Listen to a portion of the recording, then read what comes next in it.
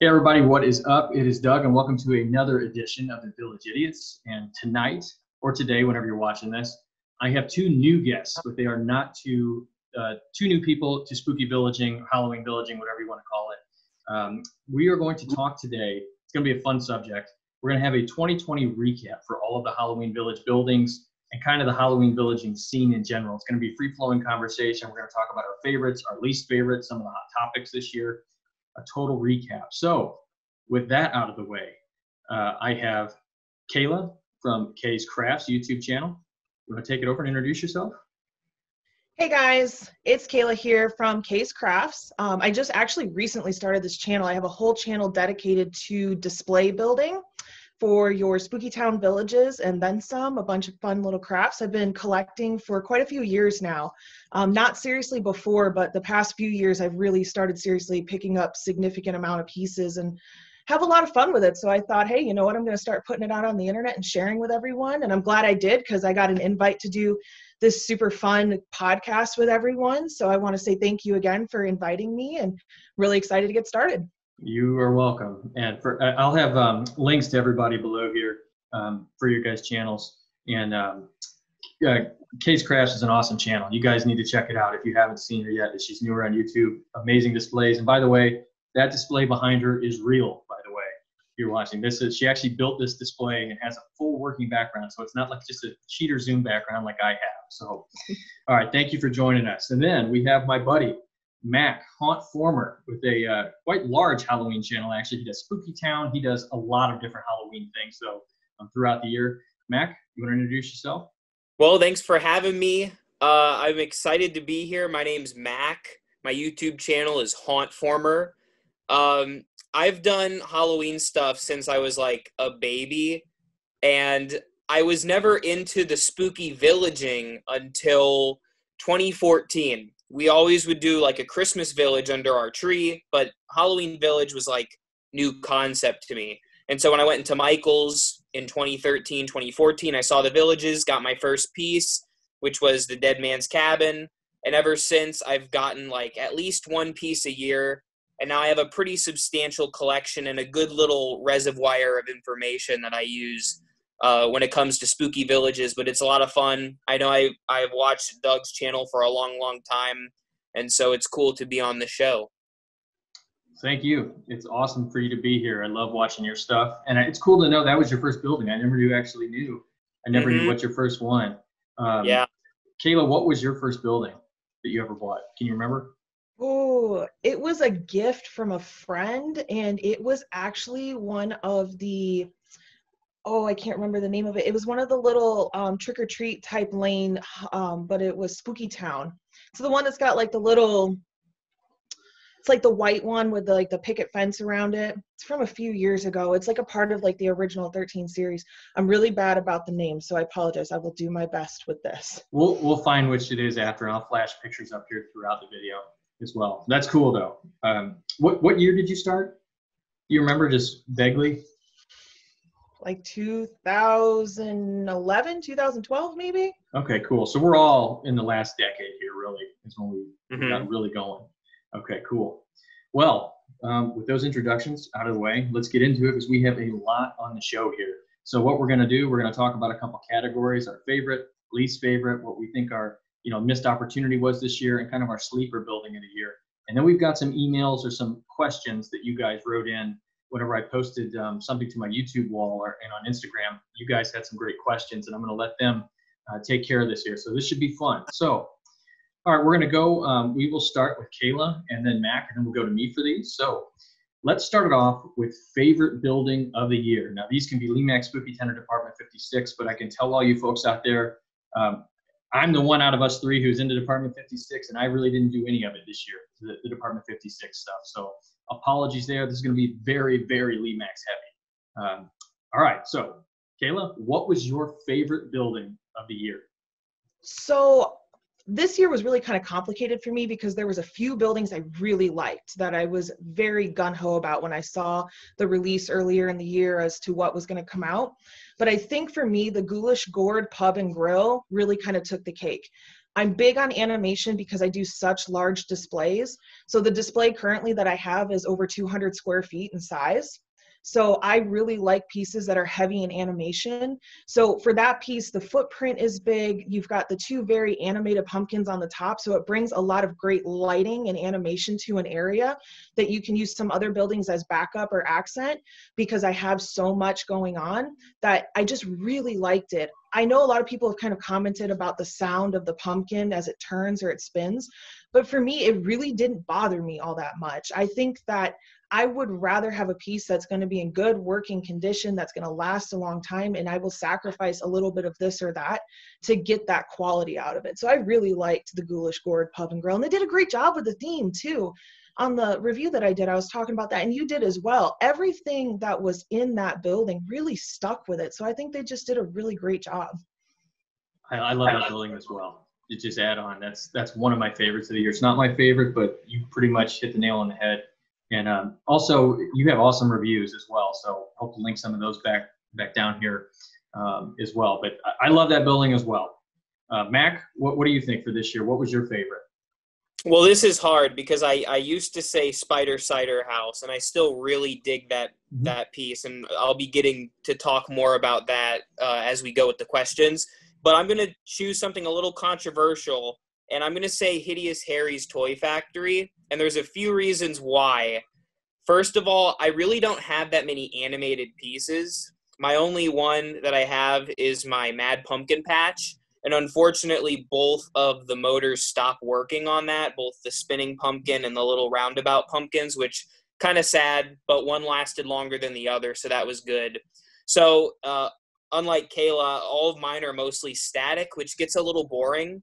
So all of the the spinning gears on that one, all of the the the toys on the mechanical features, and especially the clown head. I really enjoy the faces on all of the the buildings, like with the Mad Pumpkin Patch with the giant pumpkin. Um, Wasteland Pub comes to mind with the gas mask, and the same goes for that clown. It's it just draws attention for me. Um, and it just was a really colorful piece that caught my eye whenever I saw it in the promotion promotional material. And the fact that it was like a, a toy factory is something that I hadn't seen before, at least in the span of when I was collecting. So it caught my attention. Cool. I know that uh, Kelly, who has been on this channel a couple times here, the co-host, her son loves that building, and I've, I've heard it's it's funny. Kids and mine actually too. I my daughters really like that piece because of the whole hmm. toy factory vibe for it. So, yeah, I guess um, my favorite it's Jack's Pumpkin and the reason for that is, well, I have to talk about this later, I guess, a little bit, um, kind of with Sleeper too. But this one really kind of surprised me how much I did like it. I love pumpkin patch buildings, but I guess when I saw the pictures, it just didn't seem that special necessarily in those promotional pictures. But then seeing it in person the inside scene is beautiful. Uh, it's, it's got one of the better inside scenes in Spooky Town, I think, and it's just themed really well. And of course, I am a sucker for the pumpkin patch. You know, the, the vibe for that. It was between that and the uh, Black Raven Manor, but I have to do Jack's Pumpkin Farm. I look forward to displaying that, you know, yearly. So I'm a I'm a huge huge fan of that. Uh, so let's go to the other side of the coin here. That was our favorite. So what was our least favorite of the year? And there's a lot that goes into this. What what you know, so you can explain why it's your you know least favorite, maybe what kind of stuff you're into um, to kind of back that up. But Kayla, let's start with you. What was your least favorite of the year? So coincidentally for me, my least favorite of the year, which kind of ties into one of the other topics that we're going to talk about too, mm-hmm. was the Toy Factory. And the reason for me is because I feel like they just missed the mark on it you can have a really great theme or a really idea of a piece but if it's not executed well i think that it causes just a lot of like jumbledness or convolution with the piece for me when you look at the toy factory specifically there's parts of the building that look like it should be like a dilapidated old building and then there's parts of it that look like it's brand new. And that's kind of confusing to me because then i'm thinking well where am i going to put this in my display? You know especially if you have a larger display with a whole bunch of things going on do i want to put it in my city area where that's a little bit nicer newer buildings? Do i want to put it in kind of like a creepy older like run down part of town but it doesn't really match there but it you know it doesn't go back and forth I also think that they could have done a, jo- a better job with the lighting on that piece. It Mhm. just wasn't it wasn't great. Like they have the eyeballs in the front of the clown, which I agree with you, Mak. The clown is cool on the front of it, but why not light it up better? the when you eyeballs, put it- for sure. True. Yeah. True. Yeah, why not light it up better? Because again, for me being having a large display, if I put that in the display, it's going to get lost. So all of those cool details that they put into it just disappear at night. And I know most of us when we have it on display, there's parts of the day that you might have it on, but most times you have it on at night, right? Mhm. So having a piece that's that expensive also, a hu- what- I think it was like $160 for Michaels or something like that. I, yeah, it's a big, it's expensive. Yeah, it's a hefty. It's a hefty tag. So for me, I'm kind of thinking like if you're going to do a piece like that, you should really knock it out of the park. Like there shouldn't be really anything that I look at on that piece and think, man, you could have done that better. So I think that's a combination of both my least favorite and just kind of like you just really missed the mark on that, you know?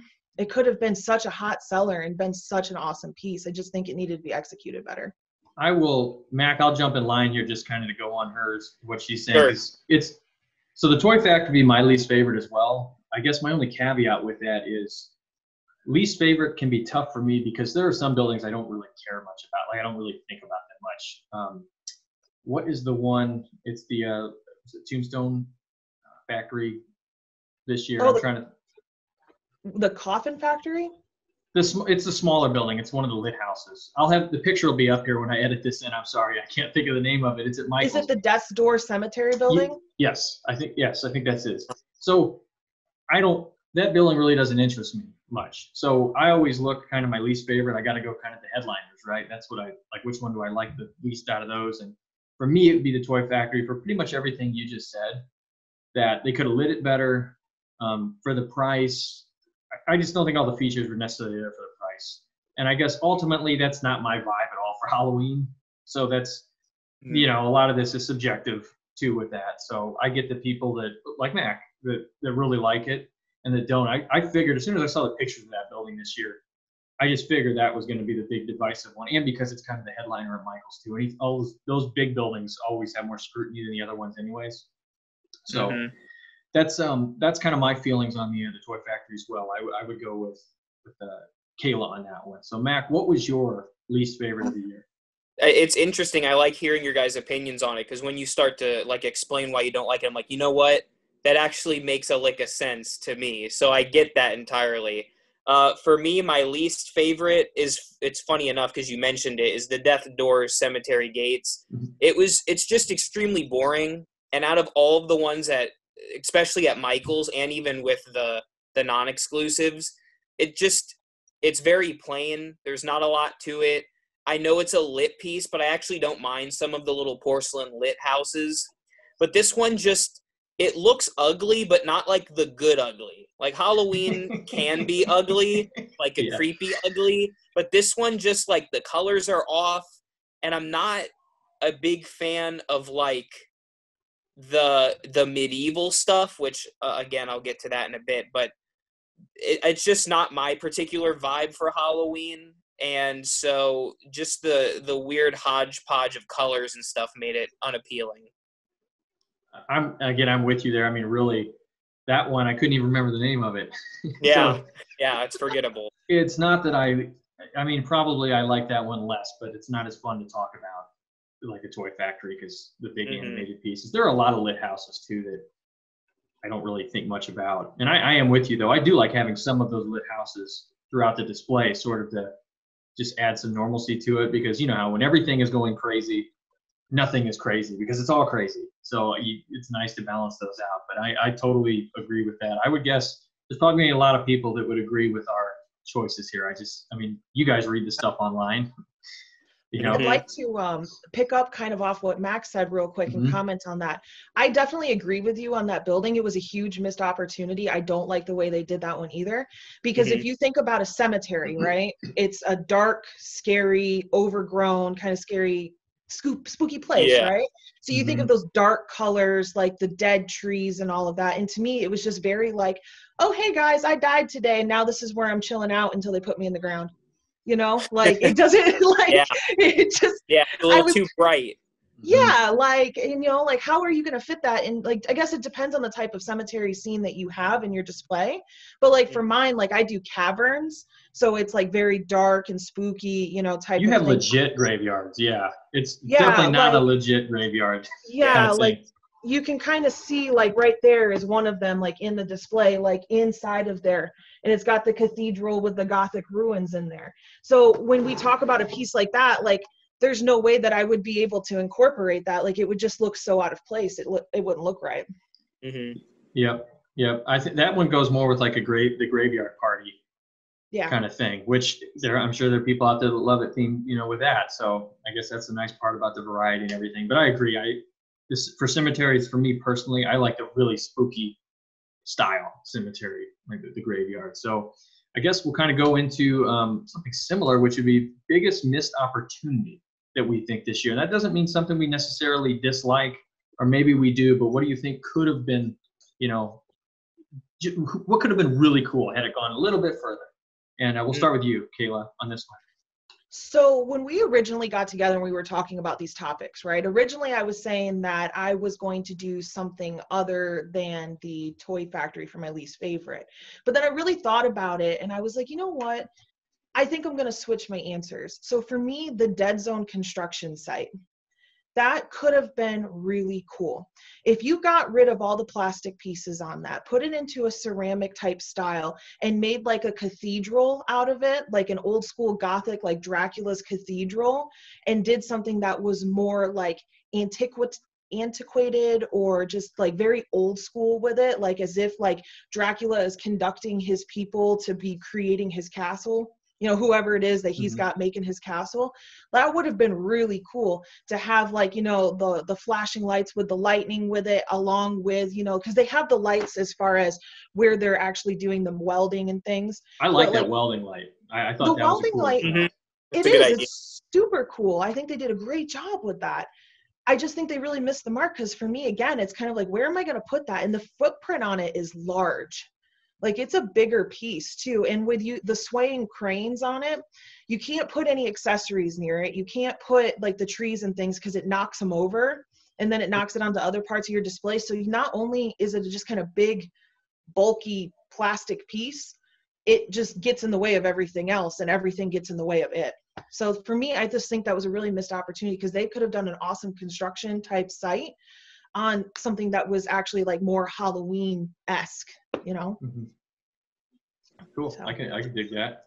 Mak, what do you got? So for my biggest missed opportunity, I'm picking the Creatures Custom Hot Rod Shop, and this is Mhm. actually one that I like and I still enjoy. Uh, the problem is it's far too boring. It's a static. It just lights up, from what I'm aware of. And when it's when you think of a hot rod shop and cars and and the creature on the top looks really cool. It looks like he's going really fast, but there's no energy to the piece. It's just very static and boring. Uh, I was thinking of like what could they have done to make this better, and two ideas I had were it's a garage, so what if either a garage door opened or like a car came out and like went back in? That's one idea. Oh yeah. And the other idea is That's the hot rod on the top with the monster in it, who looks really cool, by the way. Could like do like one of these type things, like oh where it papa wheelie his car. I think that would have added something to it, but instead it's just very boring and eh, lackluster. I saw that for the first time um, the other day actually because I'm here in the middle. Oh, really? Yeah. So we have Menards, and Menards has Oh, that piece. And yeah, I agree. I, I actually, you know, I'm a car guy. I love hot rods and trucks and Mhm. everything. And uh, that whole design of the the creature on it is like that old Ed Roth style art, the hot rod art with the you know monster in the gear shift, which is cool. Yeah, yeah. So you've got this big, big, um, you know, it could be a cool hot rod shop, but it's really kind of there's really not much on it, I guess. You know, it's it's kind of a lit Yeah. house, and it's a weird vibe for a lit house because it looks like it would do some wild stuff. Right. guess. Ex- It'd and be I like the if they- Chop Shop from years ago. What was that, Kayla? I it would be cool if they had done it like a um have, I don't know if you've ever seen one but like a burnout bar. So like Mhm. that's really big within like the motorcycle community which Yep. are bars that you can have the motorcycle go in and they do burnout competitions in front of the bar. Mhm. So like to have it animated where the motorcycles go through the bar and they do burnouts and that matches with the soundtrack of it. Like that would have been cool. That, that'd be a great idea for a building because you know how they do that biker theme. There's enough in that, mm-hmm. like that kind of biker heavy metal theme. That'd be a mm-hmm. cool addition to that eventually. Um, I guess I'll jump in here. Then mine, it's it's got to be Pit and Pendulum for me. I recently saw this building too. I was excited to get that one this year. It's funny that as far as all the buildings, like when they were announced, I think that was the one I was most excited about actually, because I like the carnival theme and I'm starting to dabble in that a little bit more. I've got a couple cool uh, rides, but with that one, I was ready to go get it, but I, I didn't wind up even picking it up just because the, the one I, and actually Kayla, your review of it was great whenever I saw that. And uh, Landon Halloween Channel's got one too. He likes the building more than, than we do, but to me, it's kind of just jerky and it, it kind of doesn't really have a doesn't look like a real carnival ride either. No, like I have it sitting downstairs because my next display that I'm coming out with is a full carnival display, right? Because mm-hmm. I'm only missing two of the carnival rides from the entire Spooky Town lineup. So when I put it in there with all the other pieces, right? And I, I put my base together to kind of place things before I start actually building the display. It got so lost whether it was in daylight or at night with the lights, because I test both out before I mm-hmm. actually build it to see how it looks. It got lost. It did not matter which pieces I put it near. It didn't matter if I put like the creepy clown academy or something like that that doesn't even have motion really to it next to it to kind of deter from like taking away from it. It just got lost. The purple light is useless on the inside of it. It's useless. It doesn't do anything. Like it doesn't help. And mine does the thing like you were saying, it gets locked in the center. It yeah, it doesn't really look like a pendulum. It's like, you know, which is fine. I, I don't expect a full swinging action. It's it's fine. We especially in the carnival rides, you got to give a little with those the way they are mechanically. But yeah, and uh, again, I, I was really excited when everything was announced. I thought that is the one for me this year. That one looks cool. Um, well, that in the pub. The pub looked amazing too in pictures. I thought. But uh, yeah, Pit and Pendulum though is just kind of, especially when I saw it in Menards the other day. I just um, just was down on it. And um, I guess to kind of bring it back up now, let's go with our sleepers of the year. And look, Mak, we'll start with you on this one. Um, go with your sleeper. And you know what? If you've got a cool accessory too, maybe that, that goes with that, uh, that you want to talk about, because we didn't have that on our list here, feel free to talk about that too. But Mak, what will be your sleeper? So, one that really surprised me, uh, the actually the first one that I got was the Dragon's Lair potion and spells. And what's weird is, first of all, it's a static. It's just a porcelain piece. Mm-hmm. And second of all, I mentioned earlier uh, to to kind of segue is that I'm not big into medieval stuff at all. And this is a medieval piece. It's got a dragon on the top. It's got to deal with potions and stuff. But there's something when I saw it in the store about the architecture of it that I just it caught my eye, and I don't know why exactly. There's no like fancy lights on it.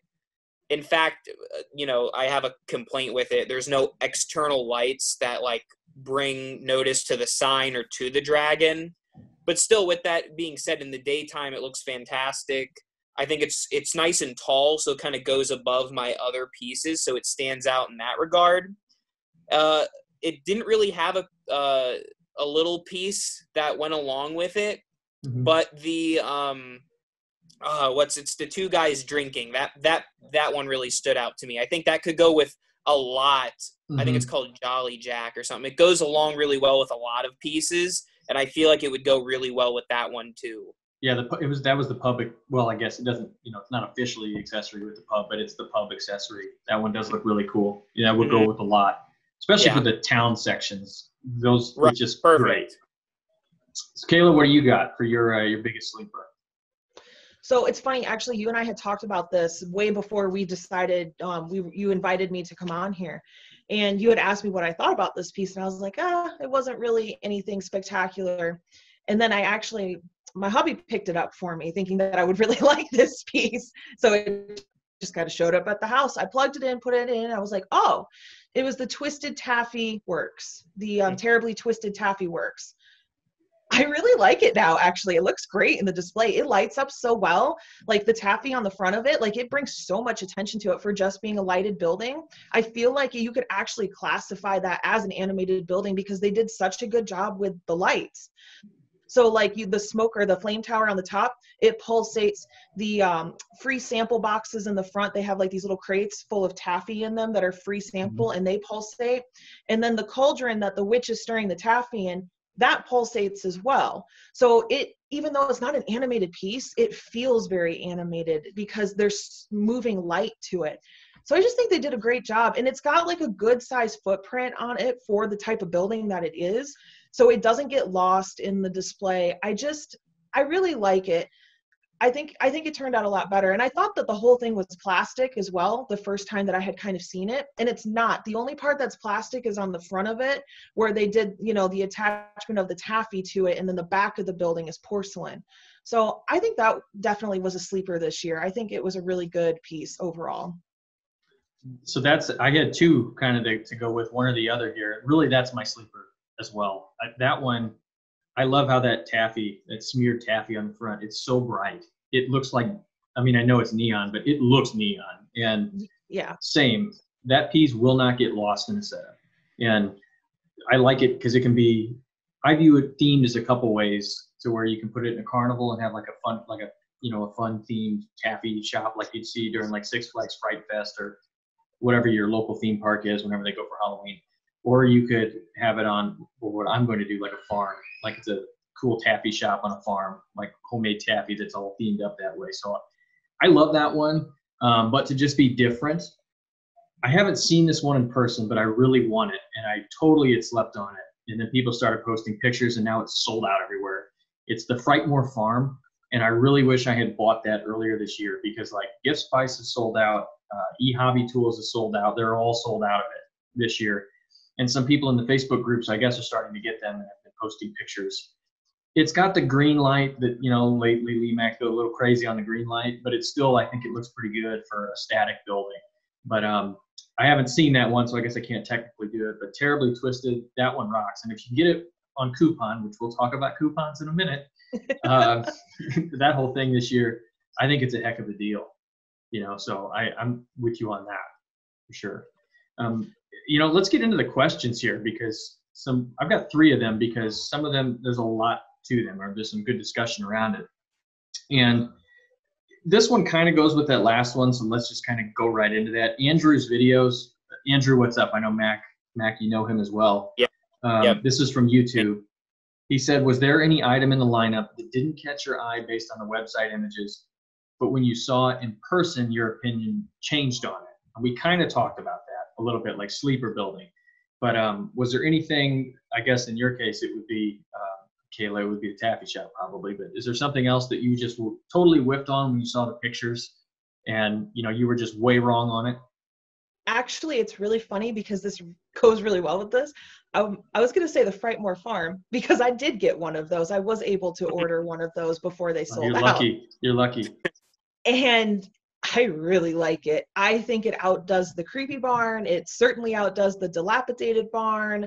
Um, for people that are really into those pumpkin patch themes, um, I really like it. It's. I feel like cool you're rubbing it in my face here right now. No, I'm not. I'm not. I'm just. I'm giving you my honest opinion. No, um, I'm kidding.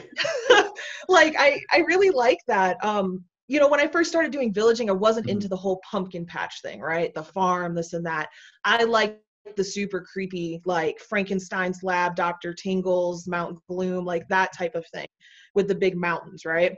Yep. And then I started doing the pumpkin patches and this one I don't know, it just fits in really well and it kind of ties in between the two because it does have that creepy kind of look to it, you know, kind of like the creepy barn. But the lighting on it's so much better than the creepy barn. The creepy barn gets lost, but this one, it's like boom, right there. You've got this like really cool old school broken down barn that goes really well into just about any type of pumpkin patch display corn maze display, farm display, however you want to do that type of theme, it works really well. So when it does, I don't think it'll retire. Obviously, you'll probably be able to get it, you know, either next year or when it comes back into stock.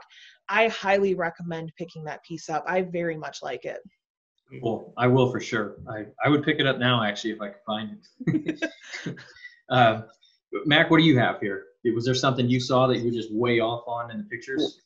Well, to piggyback off you guys, I really dig the taffy one, but I actually liked it when I saw the images. Like I'm like, oh, I, I my favorite color is green. So as soon as I saw mm-hmm. the green, I'm like, that's awesome. And I love taffy. I live in Florida and we have saltwater taffy galore here. So I'm like, it made me it made me hungry like looking at it. So that was a good sign. But I think for the the one that I wasn't really wowed with the pictures is the Black Raven Manor. I don't know why I didn't notice in the photos how neat it was I guess maybe it's because it looked like a lot of the other houses I've seen, but seeing it like in person, it is really cool. The black light in there with the ghost, it's very impressive. And the black light with the white really helps it to stand out and make it its own because I have nothing like it in my village and it's really cool that one is awesome. And it's funny, we have gotten, you know, we're like 40 minutes in, half an hour or something, and we haven't really even talked about that one because it's kind of been mm-hmm. overshadowed. But for me, that's like Jack's was my favorite, but that's like the second one right by it. Mm-hmm. That's going to be a haunted house that people go after for a long time, as they do with the big animated Lemax haunted houses when they retire. Yes. And um, I'm going to pair something with that later. We'll talk about that so I can I can give it some love. But mine would definitely be the Jack's pumpkin farm as for what the, the website images, you know, how my opinion on it changed because again, I just it did nothing for me in the pictures for whatever reason. I don't know why. I just I figured it was just almost like a table piece, like it didn't even really have much light at all. I just kind of thought it was just one of those kind of pieces, and I don't like those anymore just because you guys know how it is at night is where these things come alive. And if you have just some of those table pieces that don't have any light on them, like I have a lot of cool Department 56 pumpkin patch pieces but at night, you can't see the details. There's no light on them at all. They're just ceramic, you know. Um, so that would be the one for sure. That not only did I like it, but it turned out to be my favorite of the year. Um, I'd like I, to I just love that. Add a comment. Sorry, it's kind of hard to tell when you guys are done talking to add a comment. So I apologize yeah, if I no interrupt. Problem. That's not my intent. It's all good. Um, I just wanted to add to that and say when the picture because you were saying that in the pictures it just doesn't look that great. I think lemax should really explore the idea of doing different photos to market like as the marquee you know and how they market their houses. Because realistically when you go to their website and you look across the top when you click on the village that you're looking at and they just have that very generic kind of photo there where they just have like those plain bases it does not at all accent all of the detail and work that they put into these pieces. And i think True. that really adds to your point when you look at this like that's a big piece for them to be honest. For a stagnant piece it was relatively expensive and just having the lighting on it and it is really a cool piece but if you don't photograph it correctly if you don't market it correctly and really show the detail and the emphasis of where you've put that in the piece then nobody's going to know that it's something that they should really take a look at and purchase i'm with you i mean spookyville i started this channel because when i got into the hobby after a couple of years of it i just realized well these wait a minute i don't really know what these things look like because things mm-hmm. i didn't really care for when they're lit, they can be totally different. Like it's yeah. just you don't. That's what Lemax their bread and butter, right? I mean, Department 56, I don't think needs it as much because the Department 56 stuff is more static for the most part. It has that gorgeous ceramic detail. Lemax lives and dies by the lighting because, mm. at least in my opinion, because the people like us that are really into Spooky Town, they care more about that. It just seems like, and especially because I talk to both and I straddle both sides. I am a big Department 56 fan, but it, you know, the you're paying for the lighting with Lemax typically, and the Lemax pieces that I like the most do have the best lighting. So mm-hmm. yeah, yeah, totally True. with the with the pictures. In a way, it does kind of make it fun too, though. That it, even if the hardcore, you know, like us, we still don't know what we're going to get when we actually see these things in person. It does make it that True. first that first trip to Michael's is always really exciting because it's like you really you don't even know the scale of some of these pieces because when they're all by themselves, it, it's a crapshoot sort of. Jax is a perfect example for that too, because the first time I saw it, I thought it was a really small piece. Same. It's not. It's got a large footprint on it. It takes quite a bit of space, and there's a lot going on with that piece. I mean, it's a perfect example for that. And it is fun because you don't know what you're going to get. But at the same time, if you only can order it online because you can't get it at the store by you, then you kind of, you know, you have to think some people may not have the budget or the space. So it's between one or another. So really putting that information out there for people to make like an educated decision per se on it, I think is is important. So it's it's twofold, you know. Sure.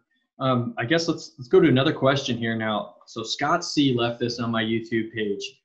This is a very long comment, so I apologize, Scott, for reading this wrong. This is the Village Idiots, and I'm an idiot, so I I put that disclaimer out there. So uh, Scott C from YouTube, he says, "Hi Doug, just throwing this out there for you and the crew.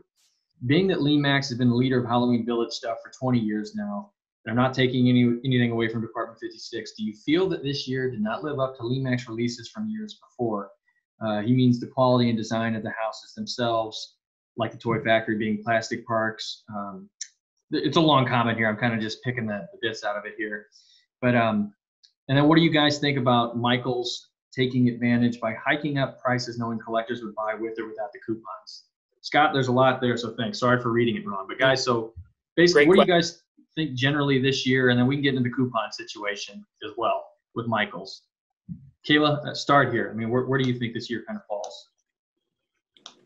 So, politely commenting on it, I would say it was a good year. Overall, though, I, I was relatively disappointed this year. Um, the Black Ravens Manor, it did give me kind of that spooky vibe that I really like with with the Spooky Town releases, right? Mm-hmm. Jack's Pumpkin Patch was great because it was a great piece for that theme. The Ghoulish Gourd was my favorite this year, great restaurant theme. But then I start kind of getting into these other pieces, right? So you have how many pieces that came out 20 to 25 pieces. I mean, there was a lot this year. Mm-hmm. There was a lot of lighted buildings and things, right? When you start thinking about all of them. And yet we're still commenting consistently on the same few. So to me, that kind of speaks volumes about even if it's a lighted piece or not, because we've commented on them. I mean, one of his most underrated ones was the Dragon's Lair for Mak, mm-hmm. you know? So I feel like that's, you know, it's kind of a letdown. I think they really kind of missed the mark with with who their main base collectors are because you know we're really involved in the in the spooky town groups on facebook right mm-hmm. and you see the comments all the time what when are we going to get back to that really good spooky town base theme with the scary buildings, with those quintessential Halloween themes, with the Dracula and the Frankenstein, like the Frankenstein's laboratory. I think I've got it sitting behind mm-hmm. me, you know, things like that that really scream Halloween. Because if you want to start inviting these other people to be collectors to join our kind of little club, per se, you know, you've got to kind of reach out to them. And I feel like the best way to do that is to entice them through those really true to theme Halloween pieces. And this year, I just kind of look around at them and I'm like, it's not all that exciting, you know, like the jazz club, for example. The, looking yeah. at that one, I think it's the Zombie Jazz Cafe specifically. Mm-hmm. Mm-hmm. Looking at that one, if you were not a collector, you would think to yourself, what what is this, you know? It's a zombie cafe but it has skeletons out front of it you know? But when you put it in your display and you get a black light on it and you get it going into the theme it looks fantastic. So i think there's a few different ways to look at this question but for me i just think overall there have been better years in Lemax releases as a whole than to this year. Cool. Mak what do you think? I mean i haven't done the the Lemax gig for long enough to know like what years are better than others. But I, I will say that this year, like Kayla said, was good, but there was room for improvement. And I think, like you mentioned, Doug, what what Lemax is really about is the lighting. And for this year specifically, I noticed an overwhelming amount of static pieces with the with the the little click on light like the dragon's lair like the zombie jazz cafe which i liked both of those. But without that external lighting it really knocks them down a few notches. And for them to make these pieces that look great but without the lighting lose it when you put it in an, like a legit display it, it messes up the flow of what they've been doing over the past several years. Because i think they were on a really good streak especially around like 2016, 2017. Then kind of, I don't know, it, it got a little jumbled up this year. But there were some high notes, and there were some low notes for this year. Um, and also to quickly touch on the the whole coupon fiasco because I know that's a big you know discussion right now in, in a lot of Lemax pages. Uh, this just personally, Lemax is not my bread and butter, at least on my channel. Mm-hmm. I'm more so into haunting and, and spirit yep. Halloween and animatronics. So I don't. You do great stuff with the animatronics, by the oh, way. Thank I, you. I love it. Anybody who's watching, if you've never seen Mak's channel, you need to check it out. He does all this thank stuff. You. I appreciate it. Yeah, but like the the Lemax thing is a great side thing that I love to do, and I, I adore getting the pieces and checking them out. But without the coupons, for someone who has to buy a lot of other things, it just it gets very constricting on what I'm able to purchase. For example, the Toy Factory, despite it being my favorite this year, is probably not something I'm going to get without that good coupon. And um, you know, to see them take away the coupons, especially when we know that they're kind of being they're they're priced beyond their margin for mm-hmm. you to use the coupon, makes it odd when they don't offer it. And I don't know if that's the change in leadership that Michaels is going through or what the case may be, maybe COVID, I'm not sure. But regardless, I think it was a big blow for a lot of people this year. Uh, you know, with the coupon thing, and Kayla, I know you didn't comment on it, so I'll let you in just a second here with that. Before I get into like where I compare this year, yeah, that's what hacks me off and why I didn't even do as many this year as well. I mean, and the, the Toy Factory, I actually just returned it because I only got that at twenty percent off, and mm-hmm. I don't, I don't, I didn't like it enough to keep it for. Yeah, not for worth that. it. No, and then I did actually get a couple good coupons because of signing up on the AC Moore site, which gave me those two things. But I had to, for the first one, like fight a Michaels manager, you know, to to get it. I mean, not fight, but it was a it was kind of an ordeal. And then I feel bad because during this whole situation, it's like I don't want to be arguing with a retail worker. I feel like a jerk. But at the same mm-hmm. time, I don't want to feel like I'm being had because yes, Michaels does price things knowing you're going to get it with a coupon. I would guess probably what what's if you look at the other websites, around 50% off coupon, right? That's around your real retail, I think, of what it True. would be. So it it sucked. I mean, I don't know how else to describe it. the coupon situation sucked. I know that a lot of people, because I, I mean, doing this channel, I get to talk to a lot of people, and anytime I would put something up and people are pissed about it. I mean, frankly, they would be they angry and kind of, you know, like, hey, I would like to do this, but I can't this year because of the cost. And you know, like you, Mak, it's it's just what it is, right? Spooky Town this year is yep. not a priority for a lot of people, anyways, just it's because true. of things going on. And right, I I don't know whose fault it is. I would, I mean, knowing how Michaels is, because I buy other stuff from Michaels too. Michaels is always a pain in the butt. Like I, I wish they didn't have some of the stuff they had because I hate how they do that coupon pricing model. It just sucks yeah. how they jack their prices up knowing you're going to buy the coupon. So yeah. I think it's more of a Michaels issue. And when you look at the other online retailers, your gift spices, your e-hobbies, um, some of the independent people who are doing it now, prices are fine there, or they're decent, mm-hmm. I guess. Um, you know, it's kind of a side thing, but when people talk about the quality of, of the Lemax stuff, it's uh, and prices, you know, how it was in the past. Now, I've only been doing it really the last hardcore the last six years. I've been aware of it for a while, and actually the prices kind of they've always kept me out of it for a long time, even whenever I wanted to get into it. So these buildings have always been expensive, and they've always broken down. Like my favorite buildings, they break down. So that's not really the issue to me, I guess, for better or worse. I wish they were better QC. I'm not not uh, excusing that, I guess, but it just kind of comes with the territory is what I view. So I don't really that doesn't bother me so much. But the coupons mm-hmm. thing, that bums me out and again, like the zombie, the zombie uh, place, I feel bad. I don't like that because as a musician, I should love that place. And I, mm-hmm. the theming on that one, I think they did a pretty good job of it. Even though yeah, I, I agree. I just, I just don't have interest because it's kind of boring lighting. But yeah. I know some people adore that building. It's got that whole New Orleans vibe. It's yeah, it's, I love that New Orleans vibe, but it doesn't even play jazz. jazz. no. And how do you miss that in a jazz right. building? It is a jazz club and it has no soundtrack. like I don't I understand that. It doesn't make sense. I know, I know. That's a missed opportunity in of itself. And uh, mm-hmm. Kayla, uh, on the coupon thing, before I get into what, what I think about this year, did you have anything to add? You know, with the coupon situation? Yeah, I I do want to add something to that. So in regards to the coupon situation, I think for Michaels, I've shopped at Michaels for a long time and I do a lot of different crafts. So I avidly use coupons. They used to allow you to use competitor coupons, not only just their coupons. Their entire coupon policy has changed. Before they even stopped doing the competitor coupon this year, they limited the competitor coupons previously to applicable items. So, mm-hmm. for example, if you had a Joann's coupon, you couldn't even use it on Spooky Town because they didn't sell Spooky Town. Oh, so, they would do this weird thing. So I, you know, you could tell that it was kind of heading in this direction. I think Mak hit it right on the head when he said the new CEO came in because all of a sudden there was these very sudden changes, mm-hmm. which again, Mak mentioned with COVID and everything going on, the stores being closed, their overhead prices, you know, or costs and things like that with all this um, material and product just sitting there not being sold and we're just passing through the seasons I, I understand why there's been such a coupon issue.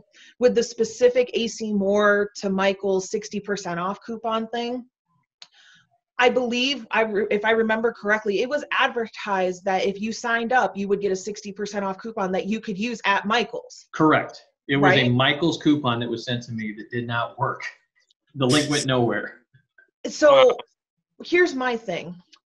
Like you, you had mentioned that you said with everything going on, you don't want to be that guy that's arguing with the mm-hmm. retail people because everything that's been going on with the retail manager, the employees why they got to argue back? You got a 60% off coupon that's sitting there. You can see that the link's broken. Give them the 60% off and move on with your day. I don't understand just, it. Yeah. Your customer's happy. You know, like you go to the same stores. If you're a frequent shopper, they know who you are, even in your specific situation, right? Mm-hmm. But even if you're not, why put up the struggle? It's not coming out of your paycheck. Like, you get what I'm saying? Like, it's not just it's not even a 90% or some like real screw jobby thing like 95% off you're trying to use some some shady newspaper clipping yeah. or something. When it obviously like for me and i can speak with experience because this has happened to me and it, it, i was hacked off when i got my uh, pumpkin patch. That's what i got jacks with it. Mm-hmm. and i was treated like i was a criminal for wanting the for having the audacity to use a 60% off coupon that they sent me. That they gave you. Right. Like come on man yeah and that's what i'm saying like i mean just like I, I guess for me i'm always the type of person where i outweigh like the risk and the benefits of things. That's just my nature with what i do for work and things like that. So i apply that to everything. If I were a retail manager and I've already got all this other crap I have to deal with, and the people that are mm-hmm. coming in not wanting to wear masks or do this or do that, just just do it the 60% off. They get michaels has always given 60% off coupons in the past. Do you really think it's a fake coupon? I mean come on like and you just like everything transitioned i don't know i have some strong feelings about it obviously and i just think that some people just really need to really look at like priorities and things and if you've got a coupon just use it. Michael should have done a better job stepping up with their customer service making sure these things were handled appropriately. They should have sent notices out to all of their stores immediately when this started becoming an issue because it lasted for quite some time before mm-hmm. they did anything about it and they should have handled it much more efficiently you have all these people registered with these um, accounts with them for the discounts and stuff. Have you ever gotten a discount with it when they scan your little barcode? Mm-hmm. No, like you don't get anything for that either. So like it's like, you know, I I don't know. I could go on and on about no, it, so I, will just stop there. I know what you mean. I agree with it all. Um, you know, to, to, get this back on the, the last part of the, I guess the first part of the question, because we have one more to get through here after this. Um, where do I feel this year in general? How was it? I guess kind of the same. It's it was very top heavy. For me though, how I've learned to classify or how I've internally classified these things, if if there are two buildings that I would deem will be classics, if there are at least two of them, looking back, it's probably a good year. If there are three of them, it's probably a pretty decent year. And I think there are three of those buildings at least this year, so I would classify that, especially you know, at some point here, I want to do a big Village Idiots podcast with a bunch of with you folks and we go through the decades about what was our favorite and least favorite years. That would be a lot of fun. Um, but I think it's one of the stronger years of the last part of this decade. I thought the mid part of the decade they really had some issues with Spooky Town, and it has. Um, I view the the Gourd Pub, the uh, Jacks, and then the uh, Black Raven Manor. Sorry, my brain is fried here. I think those are awesome, Bill. I think those are three that yeah. are going to be looked back upon that people are always going to want to buy, and then when they get retired, they're gonna they're gonna go for a lot. And there's some decent other ones. Yeah, though it's it's very top heavy. I mean, we talk about the same ones, so it's not like one of those spread out years where you have a ton of good stuff. I don't really though. The whole I don't want to give away part of that discussion when it happens, but really the 2010s though I feel like are pretty much a top heavy year or, or a decade for the most part. Most of the the years have been top heavy with one or two great pieces and then some middling ones where you had like the early 2000s where you had like 2004 2007 which is just like a murderer's row of amazing pieces. And i wish i had been into it at the time because i can only imagine what it would have been like to walk into michael's you know and seeing all that crazy stuff. But i, I thought it was a pretty good year. I like those mugs. I saw you had one right kayla? Have, i really dig those coffee mugs. Oh yeah yes. i got the whole I got the whole set of them. They were really cool. My only thing is, is that they're. I like to say they're not Kayla size because this is like a half of what I would use as a cup of coffee. they're like really yeah. tiny. yeah, I'm actually afraid to drink out of mine. I'm gonna put them in an office thing. But I've got my. The thing is though, is because I I have a gigantic Frankenstein head mug that, like, well, I'm, I'm with you. Like, I want to crank it up in the morning with coffee. I need a bucket basically. So yeah. all, I, all I'm going to do is ruin my Mad Pumpkin Patch uh, thing, and not for optimal coffee intake. So, anyways, yeah. all right, guys, let's get on to the last question here, and we're we talk about this a little beforehand, so we're each going to kind of tackle this our own way. But this was from Instagram at Charger Chris, and what's up, Chris? You comment on a lot of stuff, and I appreciated this. Um, I'm kind of hacking this question up again, so apologies. But it is uh, select one best building from this year and I'm sorry, select one best building in general and pair it with he says each of the 2020 releases. There's a lot there, so let's let's each pick a building. Let's pair a classic spooky town or something from before this year with something this year that came out. Mm-hmm. And uh, Kayla, we'll start with you. So I'm gonna go with my favorite house of the year, the Ghoulish Gourd. Mm-hmm. And I really like contrast in my displays. So I was really kind of trying to figure out which other bar restaurant I think would look really cool with it. And I'm gonna go with the zo- I think it's the Zombie Cafe, not this year's Zombie Jazz. The blacklight one, right? Yes, the blacklight one. And if you put those two buildings next to each other, I think that would be such an interesting contrast in the dark. Not necessarily during the day, but in the dark, because if you're if you have like a main street where you're going bar hopping and that's the theme or the story of your display mm-hmm. having those there with like the zombie cafe hitting the corner of that block and then moving down into the ghoulish gourd wasteland pub like those really super detailed really cool uh, bar buildings what an interesting display that would be. So much color so much variation like so much life to it. And that's what it is when you go bar hopping right? The life of the party. I think that would be a really interesting pairing. That's that's awesome. That's a really good one. I never think of the zombie cafe. I actually i i have a, a video of it up and it's i think it's one of the best black if not the best blacklight piece. I mean it's kind of the the marquee blacklight building because it looks mm-hmm. in daytime it's okay but at night it looks awesome with that blacklight showering the whole facade. That would, yeah. that's a great pairing. Yeah. Mm-hmm. Yeah, Mak, what, what, would, what would be yours? I think I think mine this year is going to be one of my favorite pieces, which was the Spider Cider House. Um, I just really like the lights on it. I like the big spider, and I think it goes really, really well with the Wasteland Pub from I forgot what year it was. I think it was 2018, if 18. I'm not mistaken. Mm-hmm. Yeah, uh, which was my favorite piece of that year.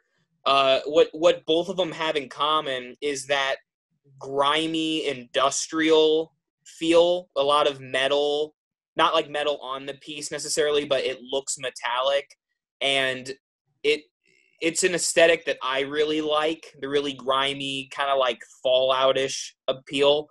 Both of them have like their big centerpiece, like with the waste with the Wasteland Pub being the gas mask and the Spider Cider House being the spider. Put them mm-hmm. next to each other. They both have the green light, which, like you said, Lemax is going a little crazy with, but it they complement one another. And I think if you got that little the little pub accessory piece with that, I think it would, would look real good. It's a good idea for it, and it's funny you both mentioned the Wasteland Pub. What an awesome building like that that was, even though you know, it's not, I'm a traditional Halloween person. Typically, I go towards those, but man, the pub is good. I I really thought they were going to have the sequel piece this year to that. Mhm. I, I can't believe they haven't had one yet. and that's a missed opportunity too because on your previous podcast with um, the other two individuals you had on you talked about like the other pieces about how being hard to pair Mhm. and that one was up there on that right It was so number I two. It inter- yeah. yeah. so i found Wow. it really interesting that mak and i both picked that as something to Yeah, to pair. pair with the building See, Yeah. and that's what's fun though. You guys have a totally different view on that, especially the bar hopping. I hadn't thought of it. That's a really cool theme for that. Mm-hmm. Clever. you, yeah, and Mak, your thing with the the pieces, the uh, big centerpieces on the buildings. There's a lot that could go with that. I even think of like EBGB's, the Rock Club, which I love that that piece as well. Um, kind of the town setting, but it's yeah, that's what's fun with this is all the, the different opinions. This way, Yeah. I love talking to all these people on, on here. You guys are fun to talk to for all the different ideas. Uh, I guess for me, I will talk about the Black Raven Manor because I love that building. And if not for Jax, it would have been my favorite because as a traditional Halloween person, I love a traditional haunted house. And I thought that it's one of the best ones that they've done this decade. And it's the best haunted house they've done since uh, Last House on the Left, which is like one of my, that's a top three piece for me of all time. I love Last House on the Left. So I would pair it with that one. But if you don't have deep pockets, Last House on the Left is hard to get nowadays. So um, you could put it with, uh, actually, it's right behind you, Kayla. The uh, the kind of the Last House on the Left tower is is what I call it. the Uh, ghostly manor Yes, Ghostly Manor from 2016, I think. Um, Mm. that's funny because i have the other one is right here they're paired together Yep, Oh. that's that's Oh, funny. yeah. They, they go together great. And uh, if you wanted an accessory though with Black Raven man, pony up and get the uh, Hungry Treehouse. I'm a huge fan of Hungry Treehouse. That's like I'm a huge fanboy for that piece. So it, it goes with the haunted houses. I, that's what I would say to go together. It's a good Uh, pick. Fun one. Yep. Um, well, yeah, guys. I mean, that's that's kind of all the uh, the thoughts here. I guess one one last thing. We'll do a bonus round here. Uh, favorite accessory this year? I know Mak, you kind of mentioned the uh, the, the drunken pumpkin guy out there, but does, do we have any favorite accessories? Uh, Kayla, start with you. i really like that little witch's brew house you know which one i'm The talking coffee about shop. Yes, I, yeah the little tiny coffee shop I have to get that. I have to get that this year for my it's bigger than you think it is. Like I when I saw it at um, Michael's, I Mhm. was kind of surprised. I thought it was going to be like because you know sometimes they have the figurines don't really match with the size or the um, scaling, and then the medium sized ones do the same thing. This one is a little bit bigger. I really appreciate it. It's got great detail on it, and I think it's a really cute add-on for in like a carnival area or for a pumpkin patch area, or even if you have like a witch's coven. I think it's a really cute, inexpensive piece to pick up that adds a little bit of gumption to that area. Gumption. I like it. Mak, I know you kind of mentioned the one the pumpkin guys, but is there anything specifically? There are a few this year that caught my attention. One of them, which is weird because there's not really anything to it, it, is the spooky windmill. It just looks so Oh, yeah. dilapidated and creepy.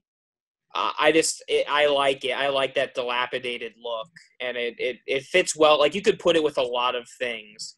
And then another one uh, that I enjoyed too, really small piece though, are the little crazy tombstones, specifically the one with the clown shoes.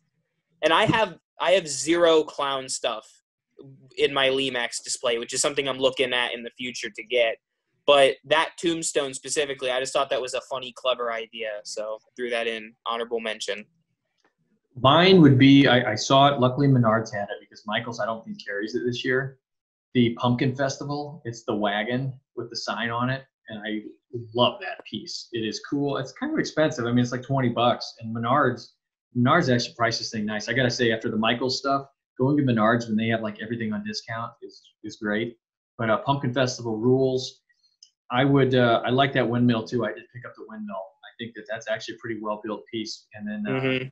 You know, figure wise though, that pumpkin monster, a lot of people are digging on that. I love that. I'm actually trying to assemble a real costume of that to be a pumpkin ghoul every year, and I he's he's going to be in my pumpkin patch every year. He kind of reminds me of this. I think the spooky farmer from a, few- a few years ago, the pumpkin farmer with the scythe that I have outside Mad Pumpkin Patch.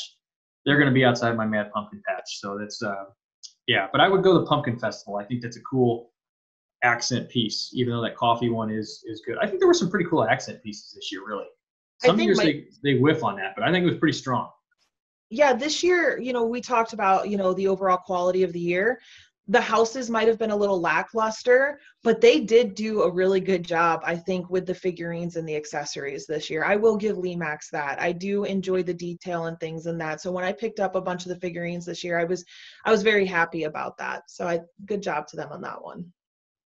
All right. Well, I guess I'm gonna have to rename this discussion Max Spooky Town because I feel bad. There was like on my end, there's no Department 56, so I think I'll I'll label it as such so Department 56 people can get their pitchforks down and not come after me. I since we're like at the very end, I did the Patty's Pumpkin Farm or Patty's Pumpkin Patch. I wanted to get that, but man, again, the prices. It's just uh, not this year. Department 56 was not in the cards. I will shout out though Cemetery House, the Trick or Treat Lane. I don't know if you guys are familiar with that one. That house does look really cool. I probably will pick that up at some point uh, the budget is a little bit better situation. But um, yeah, I, I, apologies, Department 56 people. Next year, I hope to be back big on that. I can I can discuss that with some merit. But guys, this was a lot of fun talking Spooky Town like this. I think this is pretty comprehensive. We worked it up and down the line for the uh, 20th anniversary of Spooky Town. It's a good year if we were going to go in depth like this, the 20th anniversary year. So yeah, um, yeah, thank you guys both, and definitely if you watch my channel and you've never seen uh, Mak on Haunt Former or uh, Kayla on Kay's Crafts, check them out. Uh, guys, anything you want to say? I guess plug or whatever before we sign off here. Kay after or Kayla. You, I, I was gonna say after you, Mak. Go right ahead. oh man, I mean, there's really not too much to plug. Check out my display video on my channel for my 2020 display. Let me know what you think about it, good or bad, in the comments. And uh, yeah, thank you for having me on here, Doug. That was a lot of fun. Thanks, Mak. It was nice we could do this finally. Mm-hmm. Yeah. Um, Kayla? Um, well, it was nice to actually meet you, Mak. Um, I yeah, figured I found out through Doug. Actually, you and I are neighbors. We live in the same area of Florida. So I'm dead. I'm dead serious. And I'll soon be down there with you guys. Yeah. Which is funny. So We're all gonna live right by each other. Yes so I extend the invitation when Doug gets down for the two of you to come check out my massive display. And I'd love, love to love to do a video again with the two of you. I had so much fun, but this time do a walkthrough on the village and get your guys' opinion and shock of coming into the house with it. That'd be so, exciting. For sure. For sure. Definitely look for that. Yeah, definitely look for that on Kay's Crafts. Come back and check it out um, all the displays I've got coming out. I'm really excited. Like I said earlier, I've got a 10 foot carnival display coming out. It's a big multi level carnival display. So, really looking forward to that. And thanks again, Doug, for having me. I'm super excited to have been on here, and I look forward to all the future stuff we're going to be able to collab on, all three of us. So, thanks again. All right. Thank you guys. And again, thank you guys very much for for coming. I want to thank all the, the viewers out there too who I didn't really know when I kind of put this video podcasting idea together with uh, some just friends, kind of chatting about Halloween villages, uh, how it will work out. But thank you all for the, the comments everybody leaves. Some really nice comments and very um, thoughtful comments on what we could discuss and other things. I'm hoping to keep this rolling for a while, at least. Um, I mean, I'm not going to stop this. I hope to keep make this a regular thing, but it's for the season. I'm not sure how many more episodes we'll have for the season one of it, but uh, Mak and Kayla, I would love to have you guys back as well on here for other other fun topics as we go. So, all right, guys. Uh, that said, uh, thank you guys very much for watching. Check out their channels. I'll have those in the link below, and I will see you guys soon.